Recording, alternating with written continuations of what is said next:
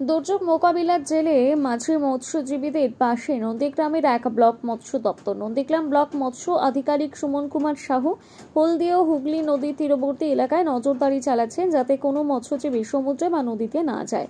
দুর্যোগ মোকাবিলায় জেলে মাঝি মৎস্যজীবীদের পাশে নন্দীগ্রামের এক ব্লক মৎস্য দপ্তর।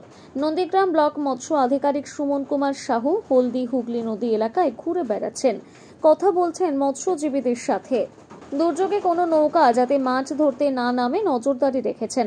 পঞ্চম খণ্ড জলপাই, কেন্টেবাড়ি চর, কাটাখালে, তালপাটি গাংরাচর প্রভৃতি নদীতে এই মৎস্যজীবীদের সতর্ক করার পাশাপাশি আগামী মৎস্যজীবী রেজিস্ট্রেশনের বিষয় সচেতন করছে নন্দীগ্রামের এক নম্বর ব্লক মৎস্য বিভাগ।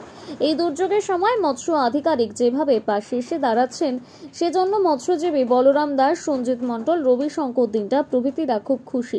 মৎস্য আধিকারিক সুমন কুমার সাহু বলেন জেলে মৎস্যজীবীদের পাশে থেকে সরকারি নজরদারি নির্দেশিকা যেমন রূপায়ণ করা হচ্ছে, তেম- তেমনি মৎস্য দপ্তরের প্রকল্প সুযোগ সুবিধা সম্পর্কে অবগত করা হচ্ছে। নন্দীগ্রাম ব্লক মৎস্য দপ্তরে একেবারে নদী তীরবর্তী এলাকার জেলে মাঝে মৎস্যজীবীদের সাথে কথা বলা ও ক্ষেত্রগুলো সরেজমিনে দেখায়।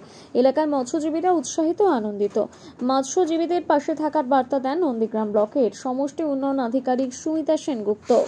আমরা আজকে ইন্সপেকশন করলাম। আমরা পা- পঞ্চম খণ্ড জালপাই, এই ঘাট এবং কেন্দ্রেমারি ঘাট এবং আমাদের নন্দীগ্রাম এক ব্লক এলাকায় যে সমস্ত মৎস্যজীবীরা রয়েছেন, আজকে আমাদের যে দপ্তর থেকে বা সরকারি যে নির্দেশ, এই, যাতে কেউ নৌকো না নামেন এখনও পর্যন্ত কোনো কেউ কেউ নৌকো নামাননি এবং আমাদের যারা রয়েছেন, প্রত্যেকেই আপনারা নৌকো এতে রেখেছেন এবং পরবর্তী বার্তা না পাওয়া অবধি কোনো মৎস্যজীবীরা কিন্তু নদীতে নেই। আমরা দপ্তর থেকে ইন্সপেকশনও করছি এবং প্রশাসনিকভাবে আমাদের বিভিন্ন জায়গাতে নজরদারিও রয়েছে। সেক্ষেত্রে কেউ সবাই আপনারা নৌকো নিয়ে এখানে উপস্থিত রয়েছে আপনি ইলিশ আপনার নামটা কি জানেন? বলরাম দাস। বলরাম দাস।